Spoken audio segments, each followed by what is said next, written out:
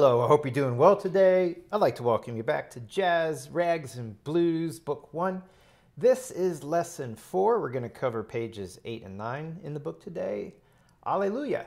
All right, so starting at the top of page 8, let's take a look at uh, a few things before we dig into some notes. So it says there, happily with spirit underneath the title. But after that, we see something that's really important. It says, play the eighth notes evenly. So a lot of times in this book, we've got swing, uh, but in this piece, we do not. So instead of counting one and two and three and four and, we're just going to count a nice even one and two and three and four and. So no swing, but that doesn't mean there won't be syncopation. There's actually quite a bit of syncopation throughout this piece, as is with most of the pieces in this book. So whether you're swinging eighth notes or not, uh, doesn't mean, matter. You could still have syncopation or not syncopation either way. But in this piece, we do. Now below that, uh, let's take a look at our key signature first. So we have one flat. And of course, the most important thing about this is recognizing that that's a B flat.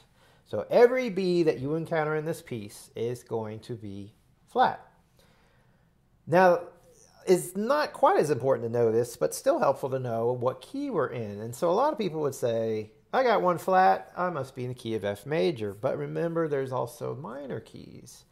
And if you want to be sure, go to the end of the piece, the very last note in the bass clef, 95% of the time, this will tell you what key you're in, what that note is.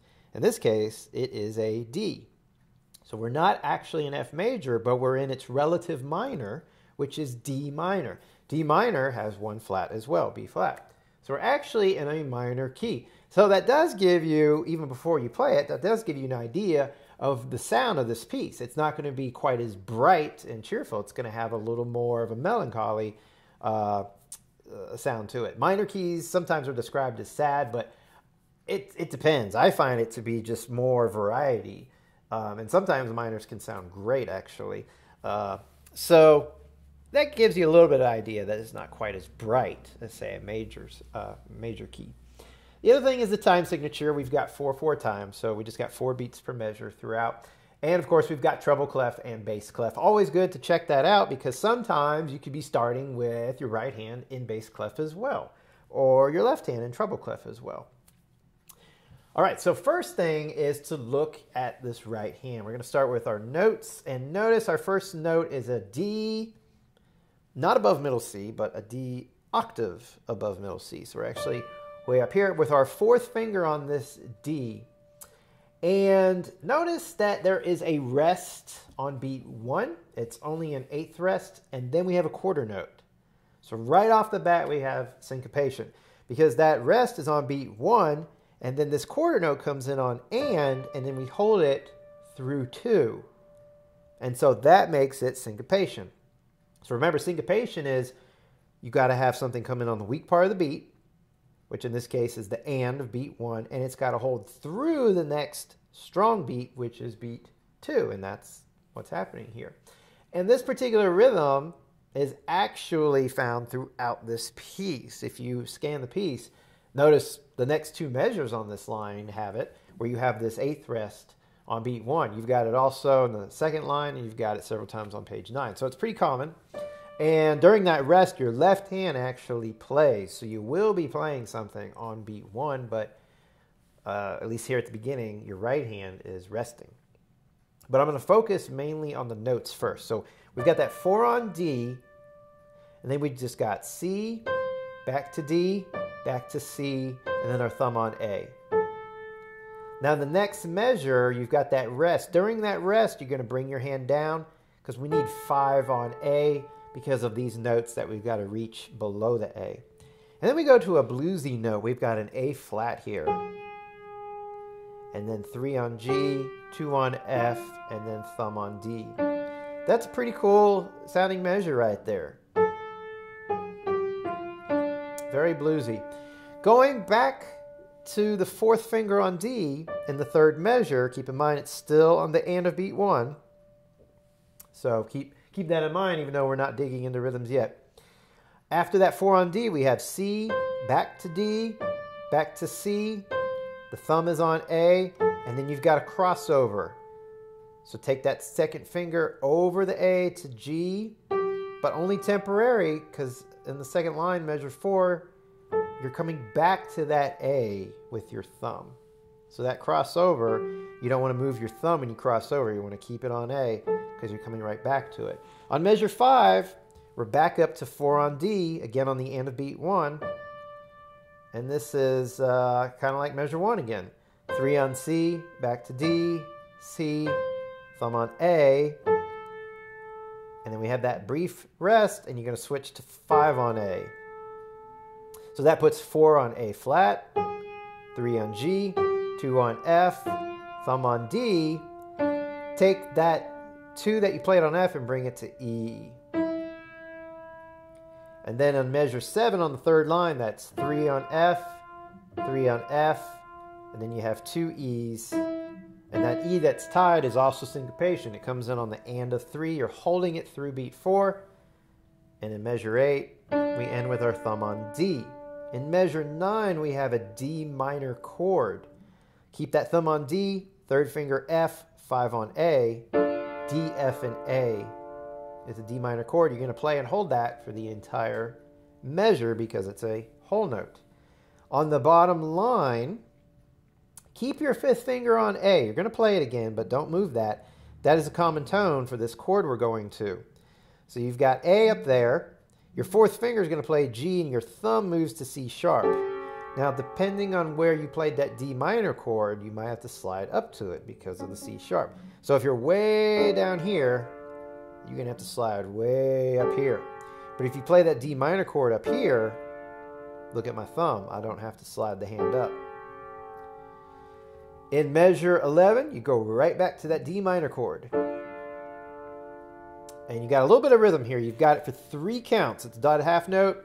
You've got an eighth rest on beat four, and then you come in on that same chord again, that C sharp, G, and A on the and of beat four, and then you hold it for all of measure 12. So that syncopation as well. It came in on the and of four, that's the weak beat, and you're holding it through one of the next measure and of course throughout the rest of that measure. Going on to page 9, measure 13, you have a quarter rest this time on beat 1. Now on beat 2, you're bringing that thumb back to D and third finger to F, so it's almost like you're playing that D minor chord except you have a 4 on G. So it's D, F, G. In the next measure, rest, and then 5 on A, 4 on A flat, 3 on F, uh, G, excuse me, 2 on F, thumb down to D, bring the 2 over to E. In the last measure, F with your third finger twice, and then two E's with your second finger. That's a syncopated rhythm as well. And on the second line, measure 16, got your thumb on D. And you hold that for four counts. In measure 17, bring that fourth finger back up to D, just like at the beginning. On the and of beat one, and then three on C, back to D, back to C, thumb on A. The next measure, you have that eighth rest Bring that 5 down to A just like we did a few times before. And then 4 on A flat, G, F, thumb down to D. Now, this is a little different in measure 19. It's not 4, but 3 you bring up to the D, and that's so we can reach the next note with our fifth finger, F. And then we're back to D, C, thumb down to A, and then the temporary crossover to the G. Keep the thumb on the A because in measure 20, you're right back there with thumb on A. Going to hold that for four counts, and then again in measure 21, it's three, not four, but three on the D, five on the F again, back to D, two on C, thumb to A. In measure 22, we jump, Five on the A, A flat, G, F, thumb down to D, bring the two over to E. In the last line, measure 23, we got F with our third finger twice. Two E's with our second finger. Measure 24, thumb on D. And we got a fermata on this D. So it's three counts plus the fermata. So you're going to want to hold it perhaps five, six counts. It's really whatever you feel in the moment. But use that time because you're going to be, uh, and you got pedal too, by the way. There's a little bit of pedal there. And the cool thing about that is, as soon as I have the pedal down, I can lift and go to my next note, which is a bass clef D.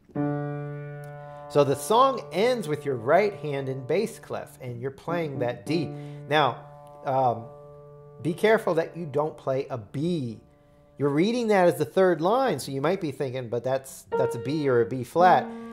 If it was treble clef, that's true, but it's bass clef. So even though bass clef is written up where your right hand plays, that's actually third line bass clef. So be careful about that. That's a D.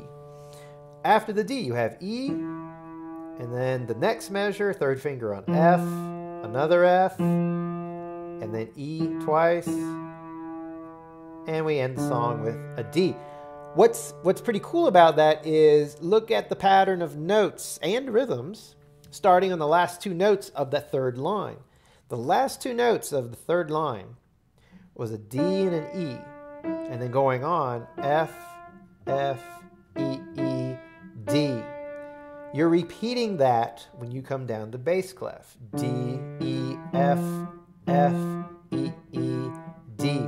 So realize that instead of saying, oh, what are these notes in the bass clef? Instead of just trying to, it's good to know those notes. You definitely want to be able to do that. But for this piece, it's better to recognize you're repeating this pattern one octave lower. And I think that's just going to be easier to learn, to hear, to feel, and that's what the music's doing. So um, it's really good to recognize that, and I do believe that'll make it easier. So now let's look at the rhythm. So I talked about the syncopation, and there's a lot of it, and it really occurs where a, a lot of it occurs where those eighth rests are. So at the very beginning of the piece, we already talked about it. You have the rest on beat one, you come in on and two, so remember, and two. Now, you don't want to say two and, because if you did that, and two and is actually one and a half beats, but this is a quarter note. So it comes in on the last half of beat one and the first half of beat two. The C that's after that D is on the and of two. And then we're back to three and four and. So that measure is one and two and three and four and. Now, when you go into measure two, it's the same rhythm. You have that eighth rest, use that eighth rest to move your right hand, and then you come in on and two and three and four and. Let's listen to those two measures now back to back. So one and two and three and four and one and two and three and four and. Going on, it starts out with the same rhythm, but there's more eighth notes at the end. So in the last measure, it's one and two and three and four and one and two and three and four and. So if we're going at a fairly slow pace, which actually we're not going terribly slow, measure four feels like an eternity, but you got to count it out. Otherwise, you risk uh, rushing measure four. Measure five continues now. It's actually almost the same thing again. So measure five is one and two and three and four and one and two and three and four and. Now measure seven is a different rhythm. It's just one and two and three and four and and then you have your long whole note. So in measure seven, there is syncopation on the last beat and a half. So where that tie occurs is syncopation. Now it doesn't feel like a whole lot of syncopation, but it is because you have this long E. It's tied, but together that's a beat and a half. And it's coming in on the and, so the weak part of beat three, but it's being held through beat four, and that makes it syncopation. So again, that measure is one and two and three and four and I have the wrong fingering, but I was playing that for example. Going on to measure nine. So remember, these next few measures, these are four beats one and two and three and four. And I'm just going to speed it up now for time. Uh, measure 10, same thing on that chord. Measure 11, dotted half note. so one and two and three and rest on four and then and one and two and three and four and so this chord is syncopation as well. It came in on the and of beat four. Going to the top of page nine. So first and only measure in the right hand that has no syncopation with a rest. So you're resting on beat one and then you come in on two and three and four and. So that's pretty basic. Going on, again, it's kind of like our syncopated rhythms from the beginning. So one and two and three and four and one and two and three and four and one and two and three and four and in fact measure 14 and 15 are replicating the right hand only though in measures 6 and 7 on the previous page so if that felt familiar it was. It's the exact same notes, fingering, and rhythm for the right hand. The left hand will be different. Going on now to the second line on page 9, measure 17, we're back up to basically the very beginning of the song. This is repeating uh, the very beginning, note for note, rhythm for rhythm, in both hands, actually. So, measure 17, one, and two and three and four and one and two and three and four and one and two and three and four and I stand corrected.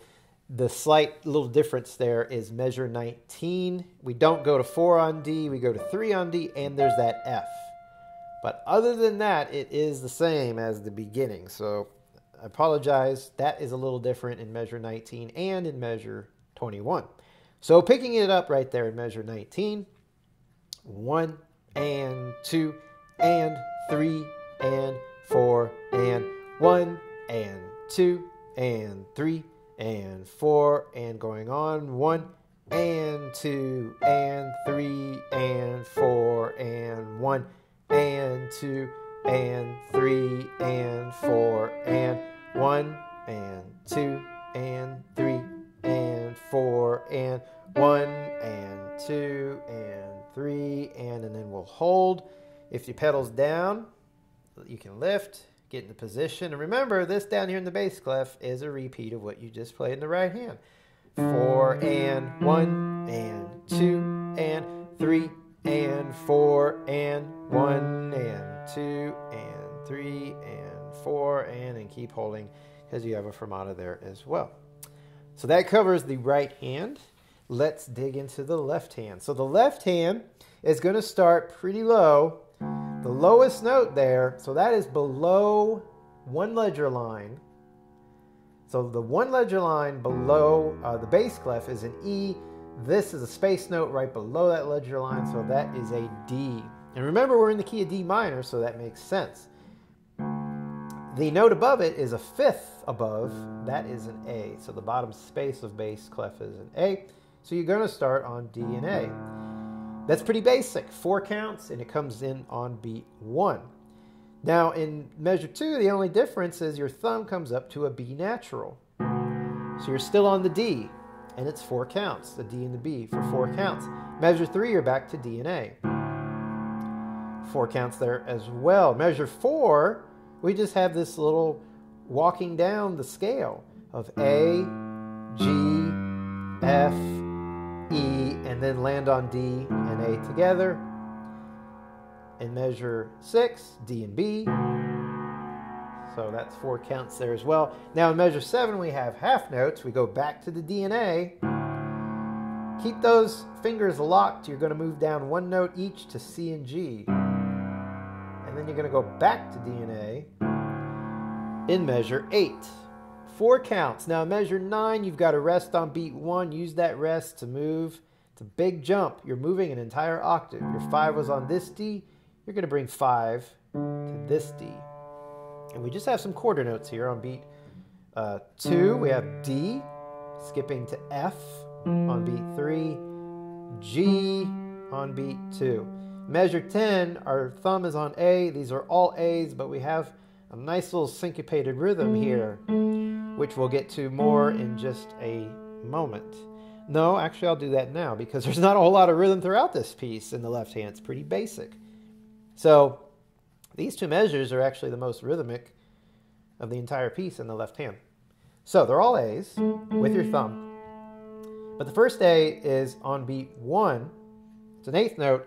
Your second A is on the end of one, but it's a quarter note, so that makes it syncopation because you're holding into beat two. And then on the end of two, you have the other A. It is also syncopated because you're holding it through beat three and then through the rest of the measure. So it's one and two and three and four and. So coming off of measure nine, it's going to sound like this one and two and three and four and one and two and three and four and and the left hand does have more importance importance here. Um, notice the right hand's just sitting on chords, so your right your left hand actually has the melodic idea here. So you definitely want to bring it out. In measure 11, you've got a rest on beat 1, 5 on D on beat 2, F on 3, and then G and A on beat 4. And then that A is tied. So that is syncopation as well. The A is on the and of 4, and then you're holding it, beat 1, and then throughout the rest of the next measure. So measures 11, 12 are 1 and 2 and 3 and 4 and 1 and 2 and 3 and 4 and.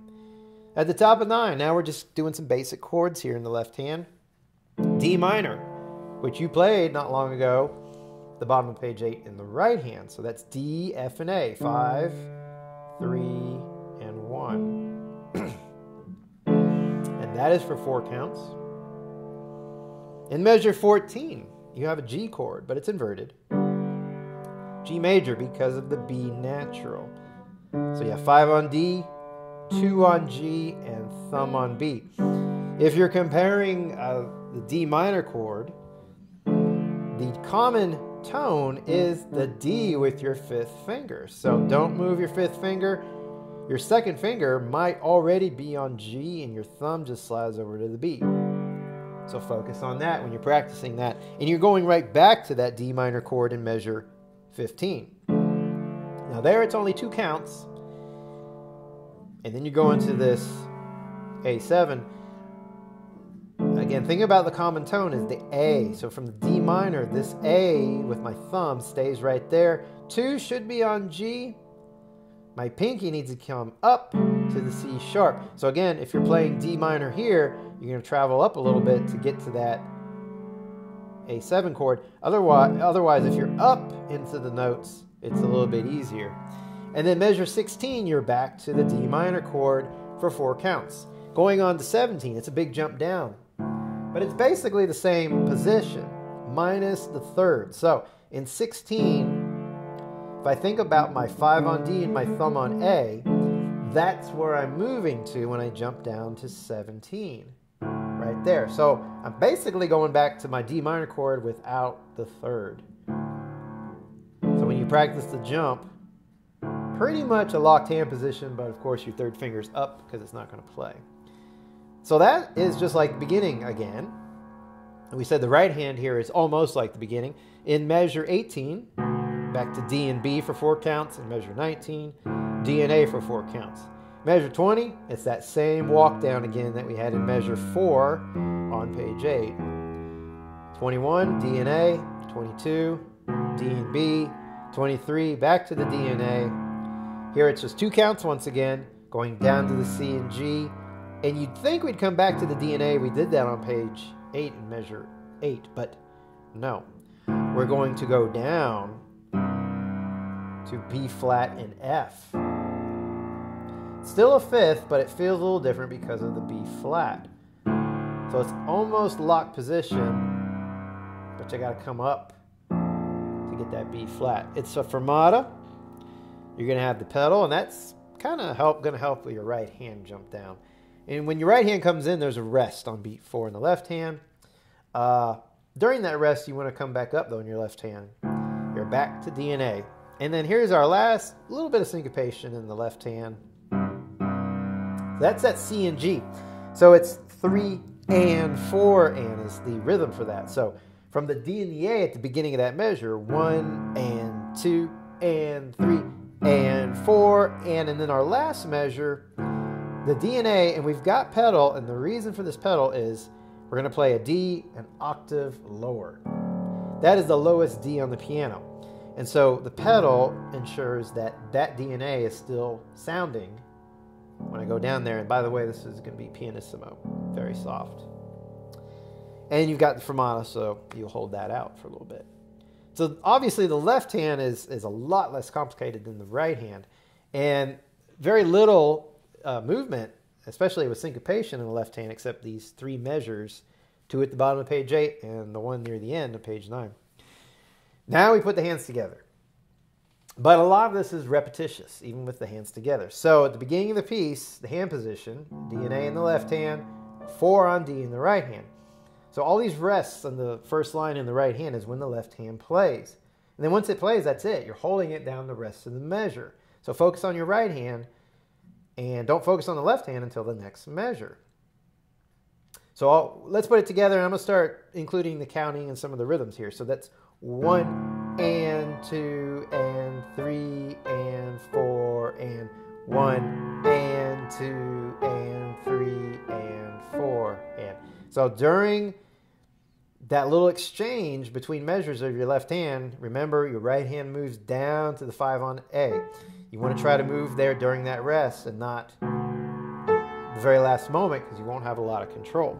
So again, from the beginning, it's one and two and three and four and one and two and three and four and one and two and three and four and one and two and three and four and so certainly in measure four I mentioned this earlier but even with the left hand playing you don't want to rush it. So it's very important you count the one and and four and otherwise it's very easy to just rush that and walk down but that will be incorrect rhythms and that will lead to problems later on as you start when you start playing this faster. So rhythmically, the first three measures are exactly the same. It's the exact same rhythmic movements uh, in all three measures, where the left hand's on beat one, the right hand comes in on the and with the syncopation. Uh, the hard thing about it, though, of course, is all the little exchanges. So going to D and B isn't all that hard, but at the same time, you got to get that five down in measure two. Likewise in measure three, going back to D and A, but you've got the four on the D jumping up. So these jumps are going to take some practice. So you may want to skip the rhythms and syncopation and even the counting and just working work on the the jumps. And you may say, "Well, I did that in my right hand and I did it fine. Now when I add the left hand, it doesn't work. So maybe I should go back to my right hand." No, actually, if you've done all you can in your right hand, you just need to dig in now with both hands. And that's why I said just go extra slow. So when I get here, I may stop in measure two and say, okay, what happens first? Well, that's the left hand. What happens next? Okay, that's the right hand, five to A, and then play that. So you notice I, I stopped, I talked my way through it, I went through the steps. So you want to go through the steps first. You don't want to try to rush and jump and just try to get lucky. Now, you want to know this and, the first, and to know it in order to own it and be in control, you first got to build your foundation of steps. So once you've done that, then of course you can start adding in the rhythms. So that may come in later. Uh, when you get to measure five, it's kind of the same thing again. One and two and three and four and one and two and three Now, notice what I did, and I have a habit of doing this sometimes.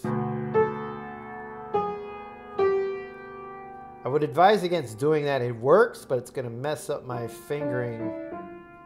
Well, actually, it won't. Ugh. I'm teaching bad habits. Uh, don't do it. I mean, maybe someday I'll endorse this, but I slid off my A flat here to G. But what I want you to do is, is not do that. We already learned the right hand and we, we talked about three on G. So make sure that you do the three on G.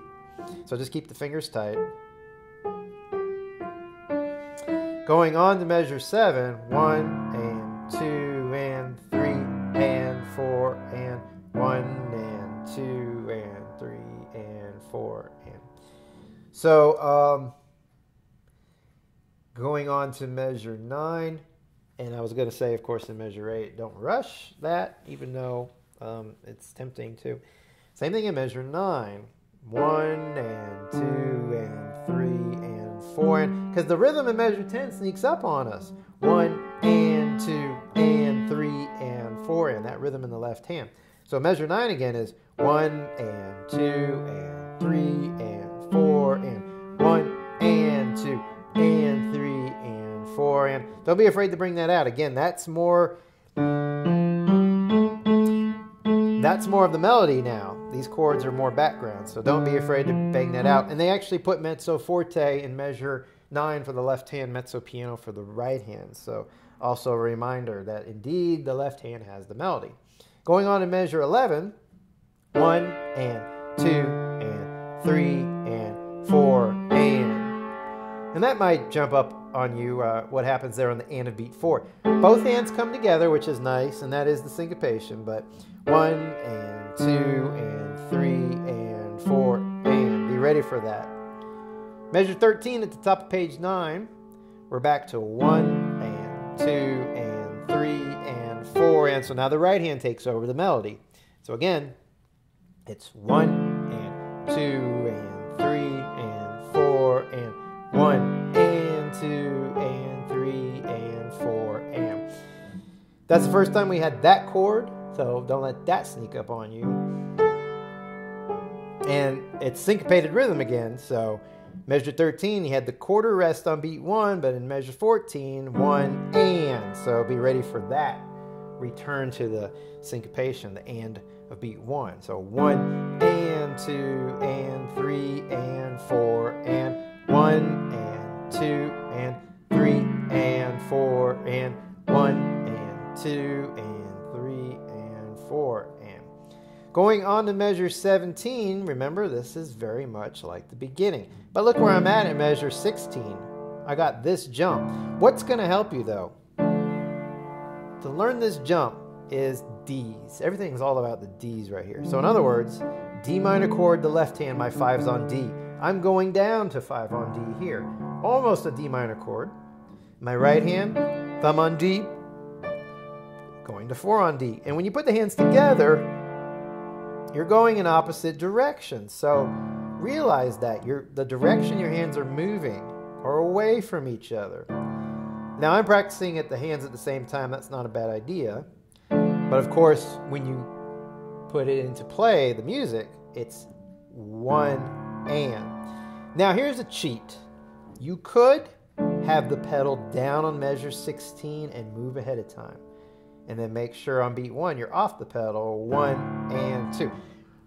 That's pretty nice because I'm still technically playing that chord without physically playing it, and I can move my hands into position.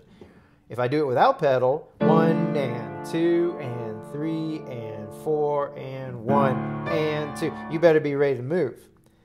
Now, the good thing about that is, if you jump fast, you're probably going to hit this loud, like I did. Well, it is loud. It's forte there, so that's kind of cool. Nevertheless, if you want to use pedal, by all means, go for it. And you can line up ahead of time. One and two and three and four and one and two and three and four and one and. Remember the three on D here. You might want to mark that. We've had so many fours on Ds in the right hand. But this is the first time And it'll happen again in measure 21 where you go to 3 on D. That's important because of the 5 on F. So 1 and 2 and 3 and 4 and 1 and 2 and 3 and 4 and 1 and. So here again, 3 on D. So 1 and 2 and 3 and 4 and 1 and 2 and 3 and 4 and 1 and 2 and 3 and 4 and and remember that goes down to a B flat and F in the left hand. I did not do 1 and 5 for my fingering, although they don't have it marked.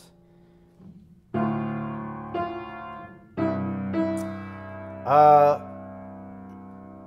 one, uh, five and two feels really good though. My second finger is on the F, so if you want to do that, by all means, go for it. Do go for it. So going back to measure 23, five and one on D and A. Now you might think, well, why don't I go to five and two on the C and G? Yeah, it's there, but then you're going to get stuck, and five and three is not comfortable. So I would do 5 and 1 on the C and the G, but 2 and 5 can work out rather well. Likewise, if you want to do 1 and 5, that's perfectly fine too. So your pedal's down here. What I'm going to do with the pedal down, excuse me, I'm going to move my right hand into the bass clef thumb on D, and I'm going to move my left hand to the D and A at the beginning of measure 24. Lift the pedal, and I continue on 4 and 1 and two, and three, and four, and, and then my last measure, pedal down, one, and two, and three, and four, and. So I'm moving, and with the pedal down, I'm not losing that sound. Okay, so I mentioned the fermatas, but there is a retard in measure 23. I hadn't taken that yet. Um, it doesn't give us a lot of information about where the retard ends. So one would assume if it's not telling us where it ends, it ends at the end of the piece. Now, we can interpret this in two ways. The retard begins at measure 23, no doubt. One and two and three and four and one and two and three and so with this fermata, you would think the retard would just die out, and you probably are correct if you thought that. And then once we get going again, it's back to tempo.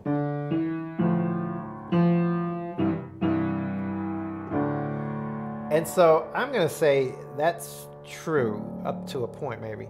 So, in other words, if you kept that retard going beyond the fermata, it's just going to die out. There's nothing left to move. It'll be such a snail's pace. But I don't think it would be proper to go really back to tempo either maybe a slower tempo four and one and two and three and four and one and two and three. So I'm not gradually slowing down those last two and a half measures or so, but I'm playing them at a slower pace. So that kind of makes sense to me. Uh, so there's a couple ways to interpret it, but I certainly wouldn't take that retard all the way to the end of the piece. Again, if there's a fermata there, that's just going to slow down things so much that it pretty much puts an end to the retard. Uh, I mentioned dynamics a little bit. I mentioned where in page 8, the third line down, last measure, the left hand is louder, and uh, but at the top of page 9, it's back to the right hand. So there's certainly that. And that is the only uh, spot, those three measures at the bottom of 8, where the left hand, excuse me, the last four measures on page 8 the left hand has a melody. Otherwise, the right hand does. Now, that being said, you still have some other dynamics. Uh, we also talked about page 9, measure 17, coming down loud down there. This is the loudest part of the piece, forte. And it stays forte really all the way till the bottom line, 23. Right where we hit that retard, we're getting quite a bit softer. One and two and three and four and one and two and three and, and then you hold it. And that's when you're soft and kind of slow.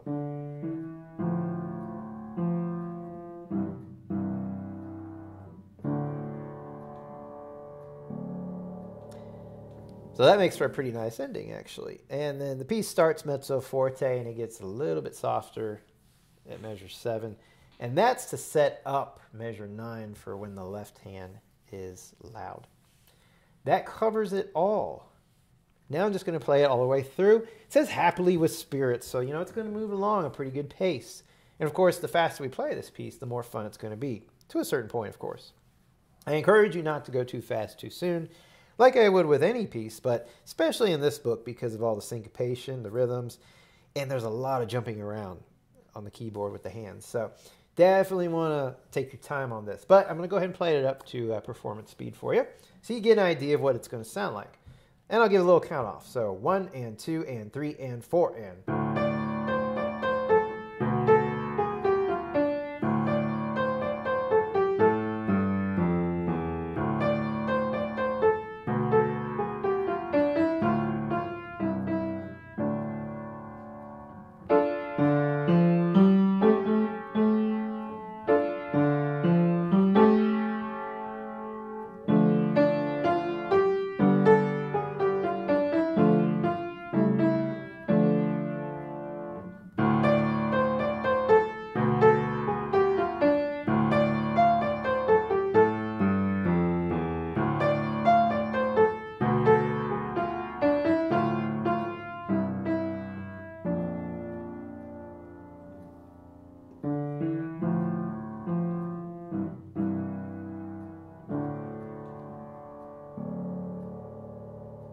Now, if you're really paying attention, I did make a mistake.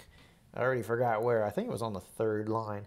Anyways, you're welcome to go back and look at the third line on page 9. Uh, check out my right hand, measure 21 or 22. I missed some note there, but otherwise, it's a really fun piece, especially once you get it up to tempo. But like I said, that will probably take some time, and that's okay. This is a hard book. It's only level one, but this is a hard book. But these pieces are a lot of fun to play, and syncopation really is what adds to it. So remember, we're not swinging the eighth notes in this piece, so you can play it that way if you want. That might be fun, but um, every now and then it's nice to not have to do swing and just uh, focus on just the straight count and still appreciate the syncopation that's still there despite there not being any swing. So I hope you enjoy this piece, have a lot of fun with it, and do work hard on it because, uh, well, we got the next lesson to look forward to, and I can't wait to see you there.